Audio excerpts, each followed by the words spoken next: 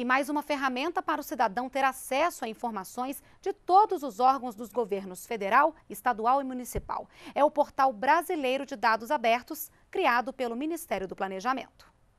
O portal já está no ar com acesso para toda a população. Por enquanto, quatro aplicativos já tiveram informações cruzadas pela sociedade.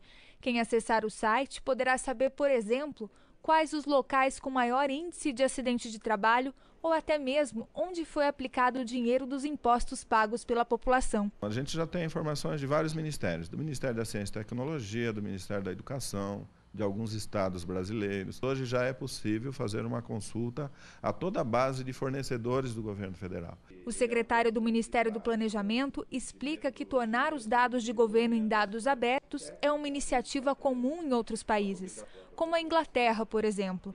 Delfino Natal de Souza acredita que com estas informações disponíveis possa existir ainda mais transparência. Se uma área interessada, um instituto de pesquisa, o, a própria sociedade organizada ela tem interesse em determinada área e os dados estão publicados, ela, essa, esse, essa equipe técnica pode ela mesma fazer as suas simulações. Ele pode também cruzar esses dados com outras bases e também realizar as suas próprias pesquisas e estabelecer o seu próprio método de leitura e de análise desses dados. Alexandre é técnico de informática e trabalhou por um ano na elaboração do portal brasileiro de dados abertos.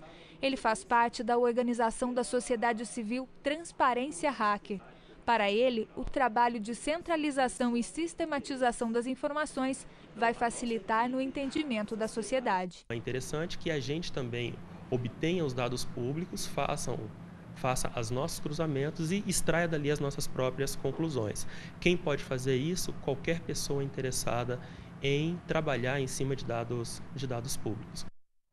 O Ministério do Planejamento quer publicar todos os dados dos governos em até três anos.